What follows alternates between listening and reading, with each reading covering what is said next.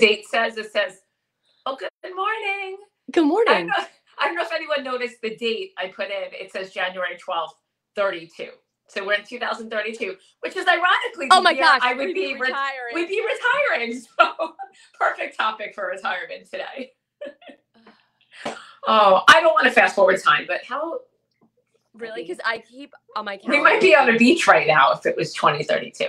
Yes, we would. It'd be January. We wouldn't be here. Mhm. It, I have my Yeah. physical calendar at home. I keep crossing off days because the month of January and March So long, so long. always gives me. Um, but you know what's a good thing to do when you don't have as much to do in January and February and March Tell us. is get your affairs in order, Jen. Get get your affairs in order. That's Get a very wills. Yeah, it's a good time.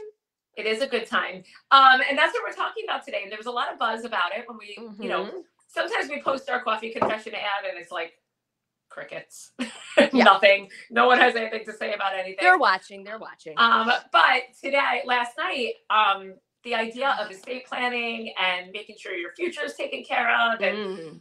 all of that, um, there were a lot of questions. And we have a special guest today. We're going to talk Yeah. all about the things that as Uh, you know before you're married before you have kids yes everyone should have their their estate planned out. But i think it's like the pinnacle of importance when you're in like the stage we're in right now. Because there's a lot at stake. You've worked hard. You love your family. You want to make sure everything's taken care of. If something it's like life insurance. Nobody wants to pay for life insurance and you hopefully never have to use it. But alicia can tell us from from Mm. personal experience yeah. that Mhm. things happen. So, Alicia, why don't you you Well, start? yeah. Well, it's yeah. Do you want to? Yeah. Uh, so let's bring Kieran on, and then you on. can Yeah, start I mean, telling just- us why. everybody knows. Yeah. Yeah. We're gonna put you right in the middle. There you go. Yeah. So you can hear us. you can hear us equally. Good morning. Good morning. That's Thank- how the sound works. um. Good morning. Yes. uh, well, guys, I am not the most. I don't have a will, and I'm very ill prepared. Um. Although I've worked hard at getting two parents prepared and been involved in their trust, and and Kieran has helped my father uh, tremendously, and. I will tell you that there, especially with the older generation, there's a little bit of fear and like, who who am I giving my power to? Who am I giving my money to? It's there's some sort of psychology around it too. And my my dad was super hesitant and he just didn't know. He just and I'm like, "Dad, we're doing this because what I had to go through with my grandmother and my mom, although they had wills, there were other things that needed to be in place too. So, although we don't want to think about the end, it's important that we keep our assets safe and in in our control i this is my personal and not the state's control where you end up in a nursing home and they take everything from you Yeah, that's definitely a We'll part of it. there Yeah. Um, and then I think the other part, I know we did a will when my daughter was born, so Mm. 16 years ago, um, because I, t- I don't have many assets. I mean, we have our house. I remember they asked, like, do you have furs, diamond, like jewels over a certain Yeah. value? Like, no, no, we got nothing. But it's your children that, God forbid, something happens to you and your spouse. What happens to your kids? And my will, right now, willed our children to my parents, who at the time my mom was 50. I mean, she was young. She was 49 when my daughter was born. Now she's not 50. I don't can't do the math right now. She's 64.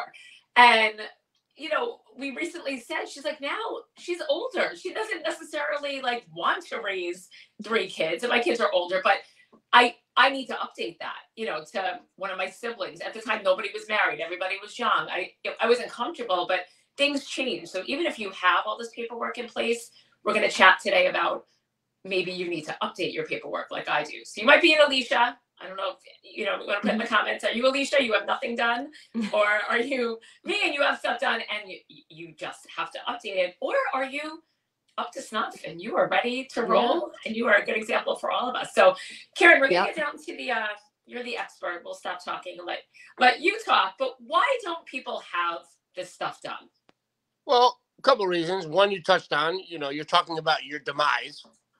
Usually, um, it's a husband and wife that come in to to set up wills for themselves. So they're they're talking about their demise and talking about their spouse's demise, two things you really don't want to talk about. Mm-hmm. When you start digging into the details of the will, you have to ask questions. I have to ask questions. I try to do it generically, not based on their exact situation. So, but but I have to say something like, well, if one of your children predeceases you, if one of your children dies before you, Mhm. another thing that's very taboo that no one wants to think about.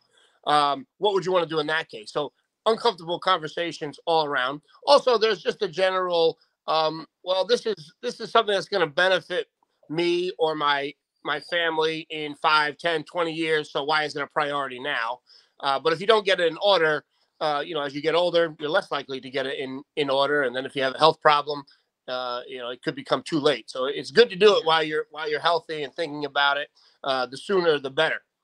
You mentioned something that's so interesting and i was going to say this is the most important uh, decision for parents with regard to estate planning who would get your children? If you and your husband you know you- you're on vacation the plane crashes god forbid uh, who would take care of your minor children? And that's a tough question. Um, it changes. You know in a lot of cases you might pick your uh, your sibling and your sibling-in-law but then they're no longer married. Uh, that happens. Th- then you have a problem. Yeah. Yep. um, a lot of times the relationships change between you and whoever you had named as your uh, person to be the guardian a couple years ago. Uh, the other thing is you have to go and talk to the person and say, "Hey, uh, Mary and John, um, I'm doing my will. God forbid this happens to me and my husband. Will you take care of my kids? you don't want to. You don't want to push this upon them. Uh, when I know. bad news. You know that's the kind of thing you really have to Mhm. talk to them about and and even go back to them over time you know every every four five six years and say hey you know just i'm reviewing my estate planning. I have you named as the guardian for the kids. Is that still good? Is that still something you would you would want to do? And then Yeah. the considerations there are things like they live near where you live.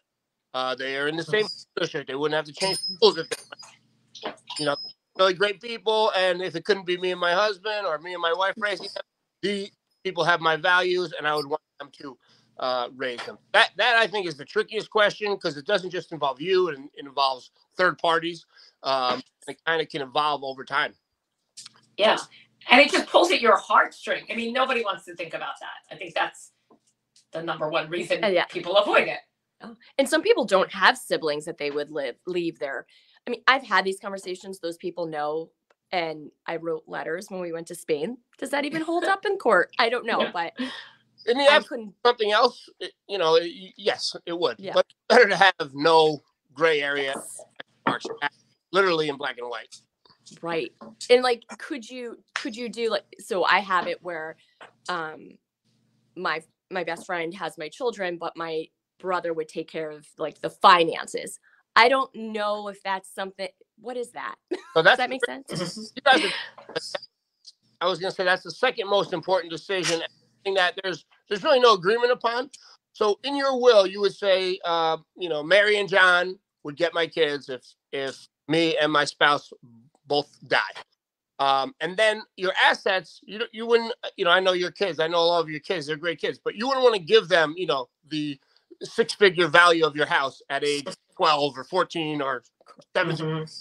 probably not even 19 yeah i was just gonna So say you would set up a trust. So in your will, it would say, if me and my spouse are both gone, our assets are going to go into trust for the benefit of our children.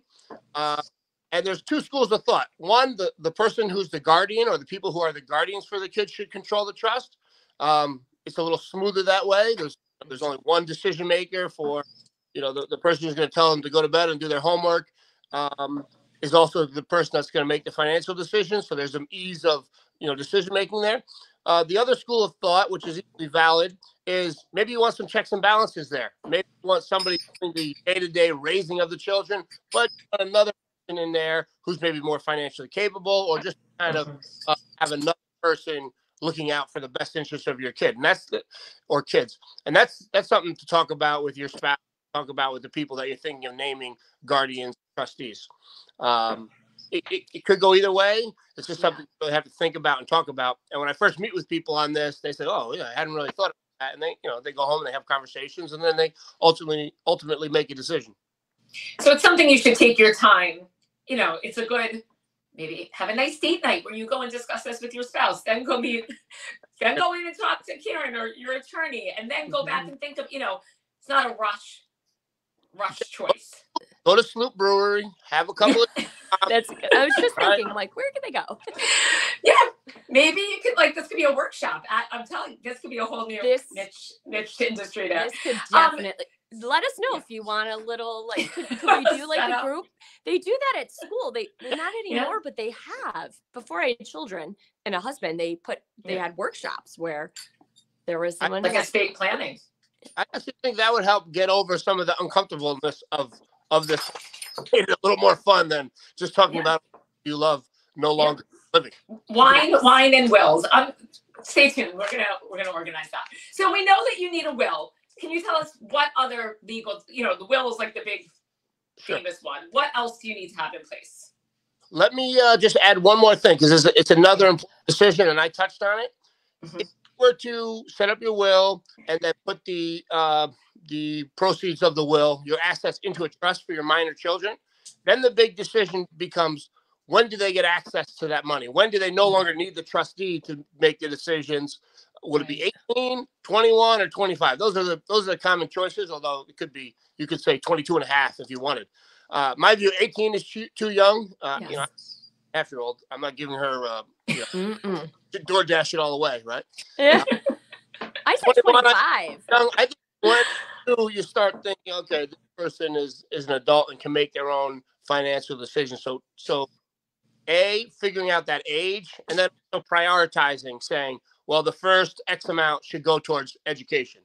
You know, that's- that's our big concern for our kids is making sure they get an education and get set up for a prosperous life. So you know, you can say hundred thousand dollars of assets go towards education. Then after that, the trustee can decide. And then at age twenty-two or twenty-five, uh, then the you know your child, your adult child at that point, start making their own decisions. The example I like to give, and I think you ladies will appreciate this, and my, my wife loves Beverly Hills nine hundred two one zero. If you recall, As do I. if you recall, Dylan's father, although we learned spoiler alert, we learned his father was not actually dead, but first ten years I mean, we thought he was. but he was by himself. But he had a trust, and Jack Walsh, Brandon and Brenda's father, was the trustee. So when he wanted Yes. to buy a Porsche or something, he had to go to Jack Walsh, and that's because Jack Walsh was the trustee. Um, I guess at some point Dylan got to control his own money, and uh, but in in the high school years, it was it was uh, trustee Mr. Walsh who was making those decisions. So that's you know that's Okay. that's uh, 500.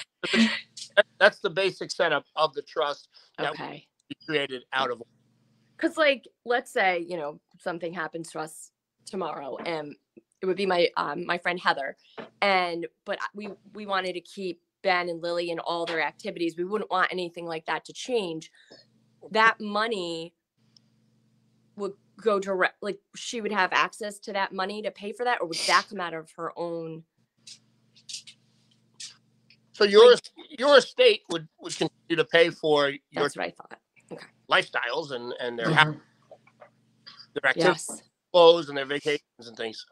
Uh, but it would be the trustee making the decision. The trustee has a has a legal obligation. They have a fiduciary obligation to do what's best in the best interest uh, of children in that case. Um, so you know you're going to pick a good person, but backing that up is there is that legal obligation. Um, if in a unusual scenario where that trustee was not doing the right thing, you, you- you could bring them to court and uh, change trustees. But you're better off just picking a, a trustee that you know is going to be rock solid for the for the long term. Can I ask a uncomfortable question before we move on from wills? What if you don't have a will? You and your spouse die in that plane crash, which is my worst fear, and I always want to fly separately if we go anywhere. But if they, if that happens, what happens to your estate, to your children? Who makes those decisions? Sure. So so there is um, in in statute in the estates law in New York State there is uh, a formula basically that you know to summarize it it goes to next of kin it goes to the the closer relatives if you don't if you don't name somebody uh, in your will um, your assets would go to you know uh, first it would go to your if you and your spouse died if your parents were alive then it would go to your siblings and and so forth and there's a whole sort of pecking order um, that it would Mm. go but then you're not making the decision. The law applied generally to everybody, uh, is making the decision for you. Uh, so you know most people don't want that. Uh, there's no provision in there to uh, you know decide for your kids. If you don't have a will, there's there's no decision on your kids. So somebody besides you is going to determine who's raising your kids, which no one wants. Um, so yes, there is a there is a you know a backup plan, so to speak, but it's it's an inferior uh, plan that actually decisions yourself. Yeah, you'd rather be in control of that. Um, so what else do we need besides a will? One What more the other documents? Because this is important too, and I and I find it very. I always encourage my clients to put a, a no contest clause in their will, um, and basically what that says is if anybody contests this will, um, if anybody goes to court and says I should have gotten more or I should get something, they automatically get nothing. I I love that. One of your clients told me about that, and I thought that was the greatest Mm. thing.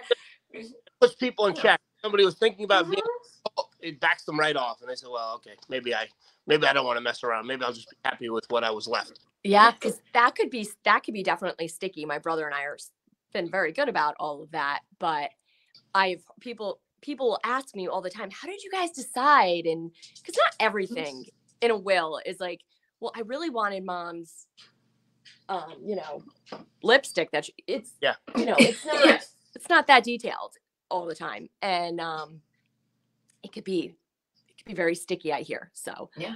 That's a It's like a divorce. idea. It's like a divorce and wills. Yeah. Like those assets. People get What- crazy. Those kind of specific items, you know, the uh, the the uh, you know the the fancy classic car or Right. Yeah. and things like that. If they're not itemized, usually the will will say it's at the as that it's at the executor's discretion, and then and then uh, you know you are in some potentially into into a difficult area. Um, that speaks to itemizing everything. If you have these prized, tangible possessions, outline them in your will and say if if my classic car is still in my possession when I die, then I want it to go to whoever I want it to go to.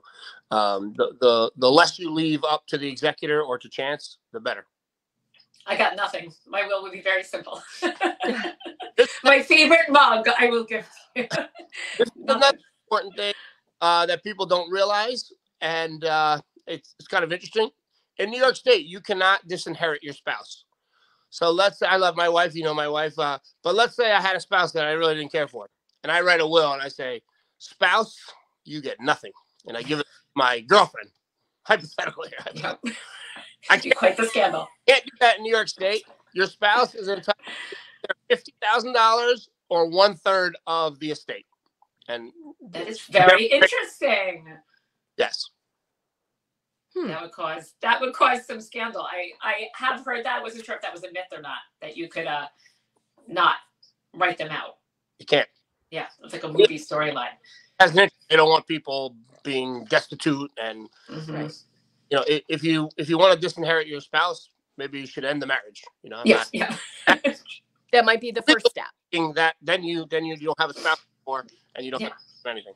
they could call you for a different reason. You could handle that. I love it. okay, so what a living trust you had mentioned? I'm not sure if I know what that is. Well, the trust that we were talking about for uh, benefit of minor children, that would be an example of a living. Okay, Um, is a living trust. and I'll contrast that with something that you're probably familiar with, an irrevocable trust, uh, which is something that uh, a- you cannot change it. So what commonly happens for Medicaid purposes, in case someone at some point was going to need inpatient care paid for by Medicaid, Medicaid looks at your assets and says, "Hey, you have a three hundred dollar house, or a four hundred thousand dollar house. You can you can pay the twenty thousand dollar a month nursing home bill." But there is a mm-hmm. provision in the law that says if you put your assets into an irrevocable trust, and the key word there is irrevocable, because once you put the once you put the asset in there, you can't change your mind. You can't say, "Oh, I'm out of the nursing home. I'm going to take my house back out of the trust." It's irrevocable. Once you put it in there, uh, and 60 months go by or five years go by, no New York no longer looks at it. Medicaid no longer looks at it as an asset of yours, um, and they're not going to hold it against you um, as far as paying for your inpatient uh, nursing home care or long-term facility. Uh, I say I would say to everyone, if you have parents that ha- don't have that yet, push them to do to do that. At first, they might think like, "Ooh, what are you after?" It is so important that five-year look back, which could probably be pushed to seven-year look back. Any, I don't know. That's just my personal feeling. eliminated. It could be eliminated because it, it costs Medicaid a lot of money. Mhm. True. You know, some in New York State or some is going to be looking hey, they have a lot of money here and and and push for that to be eliminated. It's kind of a blessing that it exists. It it certainly is. It Mhm. did not my I don't know what my grandmother was doing, but that did not help her. And we were at the you know they took they took whatever she had, and there's some things that they couldn't take. So like Yeah. she didn't have to. I, I could use her money to pay for my mom's funeral if that makes. I was like, okay, that's great. But it's really important. And I tell everybody, and they like kind of look at me like, oh, I'm like, it is so important. Do it. So this might not be something you need right now, but something that if you have parents, you know, you're around our age and your parents are, you know, alive, that's something that, and it is scary because you're giving, essentially giving your children power over your estate, It's right? a circle of life, though. Like it's just the way it is. You set up that irrevocable trust. You name a trustee, someone that you trust, Mhm. uh, the most responsible child or the oldest child, and then that person again has that fiduciary duty. Uh, they have to do what's best for the what's called the grantor, the person who started the trust, and um, the only kind of logistical issue is when you have to sell that, your parents wouldn't be signing the contract and signing the signing the deed Mhm. would be would, would be the one doing that. So, you know, it's it's not a it's not a hugely difficult thing. But going through the closing would be the trustee, not necessarily your parents to sign the document, for example. And then what happens is, uh, you know, a lot of people get older and they downsize, and you go from a four bedroom house to a, a two bedroom condo. If the house was in the trust, well, you sell the house, the proceeds of the house sale go into the trust, and then you buy the condo. Um, you know, for half what you sold your house for, the condo stays in the trust. That other half profit, for lack of a better term, stays in the trust, and the trustee can invest, uh, do whatever is best for the uh, whatever is best for the uh, the person who made the trust, and it's protected from Medicaid after that five year look back period. Mm-hmm. Which again, Alicia and I have been down that road with Medicaid. It is, Yeah. and Oof. not to scare anyone. My father-in-law was six. He had just turned sixty and had a catastrophic stroke, and you know ended up, you know, passing away maybe seven years after. But those seven years were filled with Medicaid. Fi- it the amount of time and energy and money that just it just drained you. So if but and he was young. He didn't think about those things at that time. So it's never too early to start thinking about you know the catastrophe that might strike i know that's horrible to say it like that but you have to be prepared like a boy scout Mhm. be prepared Yes, yes, that's what this is. Preparing. Yeah. Yeah. Um so what else we have the will a living trust power of Help. attorney Power, yeah. Yeah, power of attorney. Often it's good for uh, spouses to give each other power of attorney. Um, let's say uh, usually husband and wife own the house together. Uh, let's say one spouse was incapacitated, wasn't able to, um, you know, participate in a transaction, and you needed to sell the house. You wanted to sell the house and move to Florida. Uh, that power of attorney would come in handy because then the the spouse who was incapacitated wouldn't have to, uh, uh, you know, participate in the sale of the house or any other uh, financial transactions. Also, good to give a power of attorney, get a power of attorney from um, children when they go off to college. Uh, you can do, you can make, you know, transactions for them and and uh, act on their behalf if they're, especially if they're in California. Uh, now things are modern; it's a little easier to, you know, shuffle papers. You can email documents and print them out, but still a good practice to have. Uh, healthcare proxy, I think, Healthcare. very important. If you're unable to make healthcare decisions for yourself, who do you want to make those decisions? Um, usually, husband gives it to wife, and wife gives it to husband. Um, but if if you don't want to do that, there's other you know siblings, close friends, close relatives uh, to make those decisions for you. Very good idea to have those kinds of things in place uh, because when you need them, it's too late. So if you have them in place when you're you know you're level-headed and you're just you know thinking dispassionately about future, that's the best time to sit down and make these decisions. And you know, God forbid you need them, they're in place, and you have the right person uh, doing the job.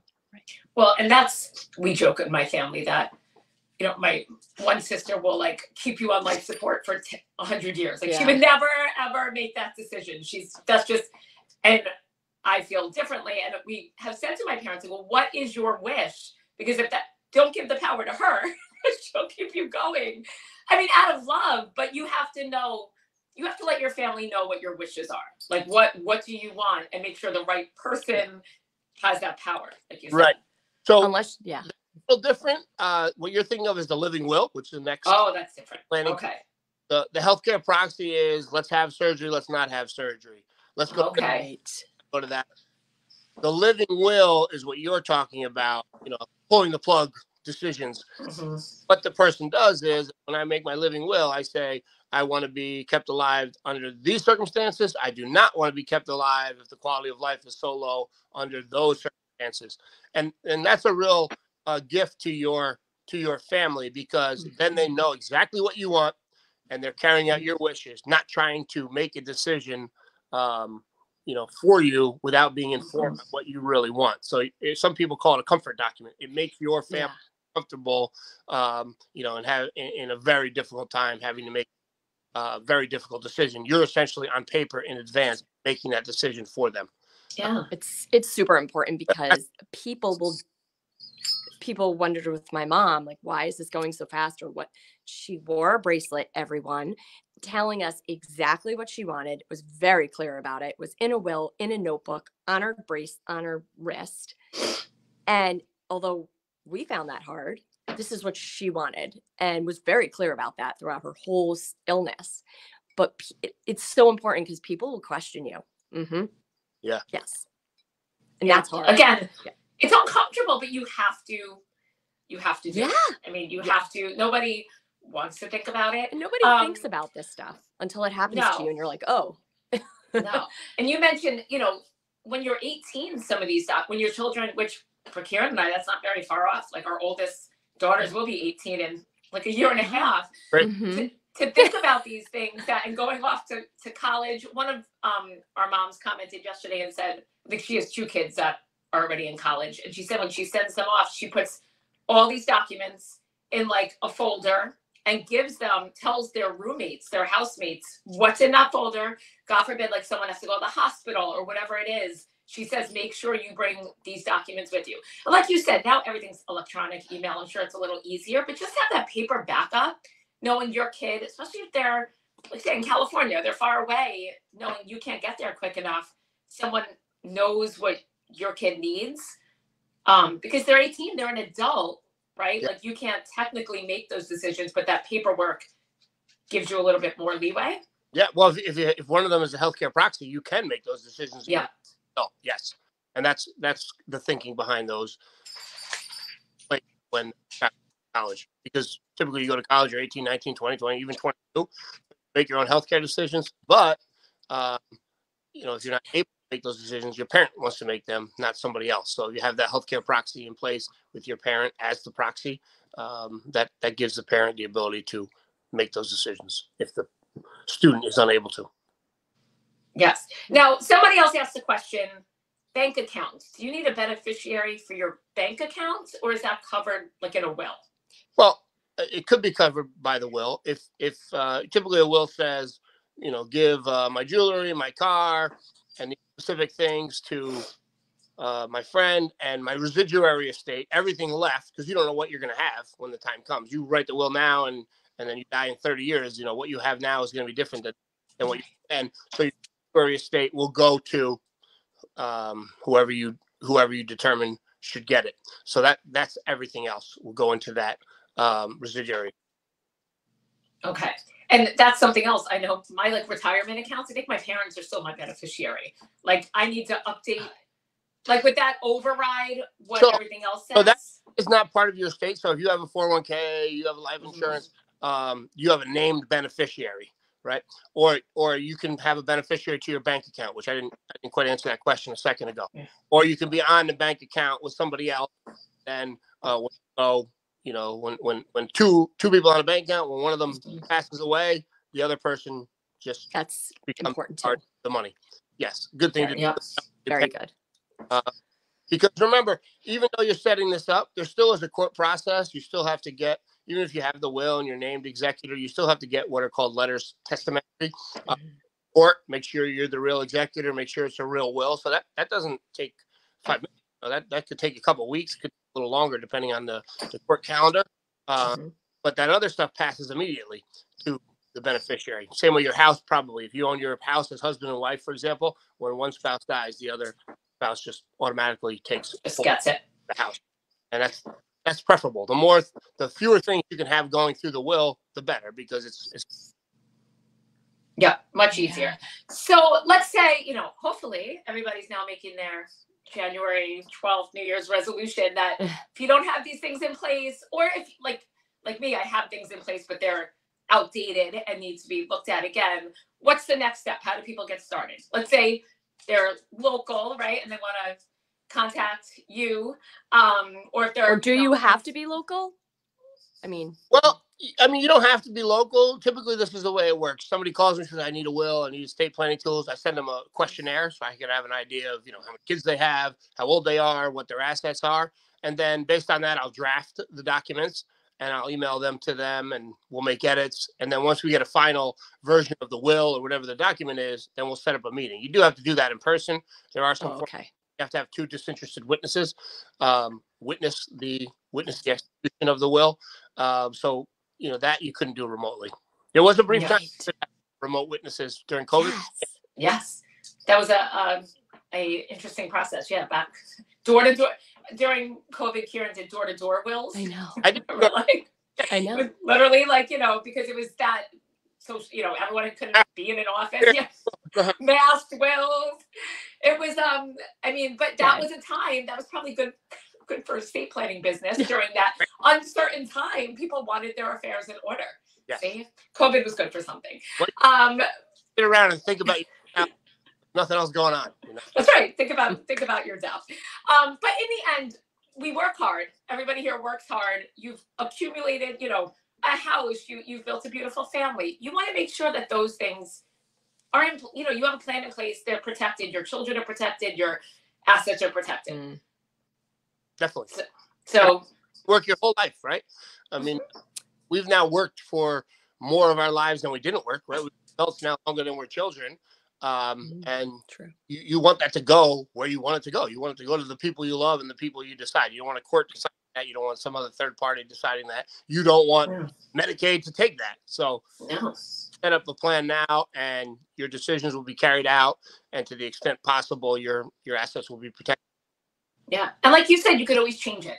You know, don't feel like you're, well, I'm not sure yet. Like you could put it in place and then if you get divorced or there's 10 Yeah. years from now, you can you can revise those things. It's not once and one and done. Correct. And you don't even need a whole new will, for example.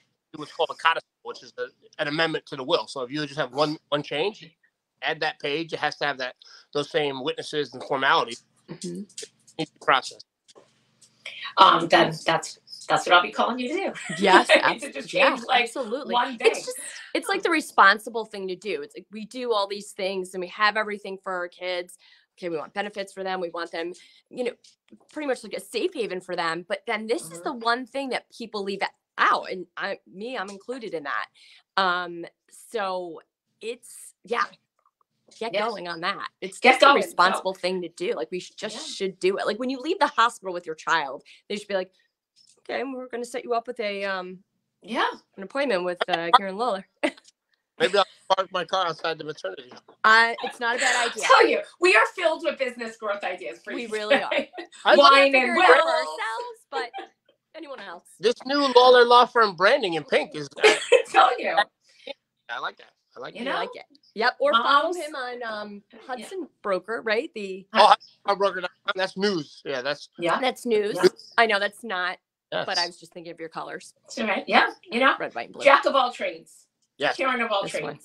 Yep. Yep. So, you know, if you are local, because you do have to be somewhat, and when we say local, can you be in Yeah. Connecticut? Can a New York lawyer do a Connecticut person?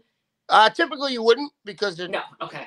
And you're not admitted. I'm not admitted in Connecticut. If you were admitted, to Okay. That's All right. So New York, New York is we're very close to Connecticut. That's why I mentioned. Um, 20 you million. know, Hudson Valley. Yep.